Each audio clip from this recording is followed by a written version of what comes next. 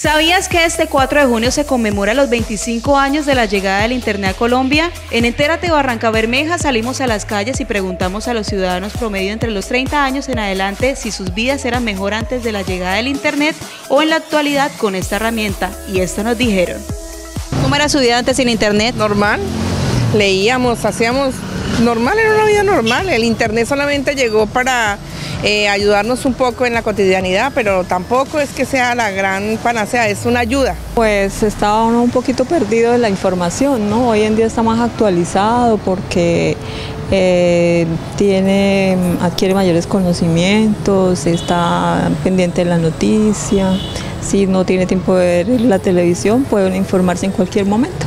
Más divertida, porque podíamos reunirnos en familia, con amigos, jugar, sin tener que estar dependiendo de un aparato.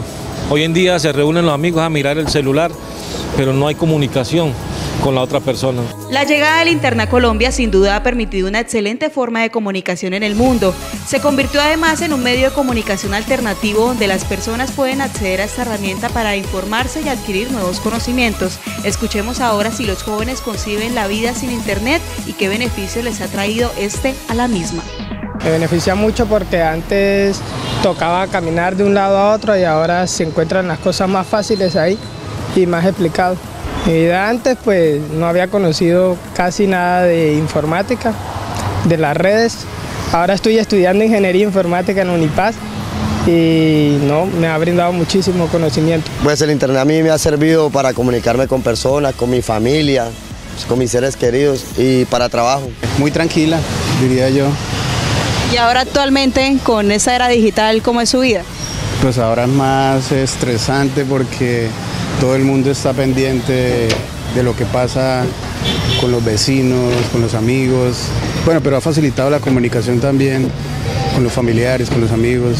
Eh, espectacular porque los niños salían, eh, uno salía, jugaba, interactuaba, había como, como más unidad. Ahora vemos los niños en, en los cuartos, que no quieren salir, que están como apartados. Entonces sería bueno volver a retomar lo que es los juegos de los niños en la calle, no tanto internet en la casa.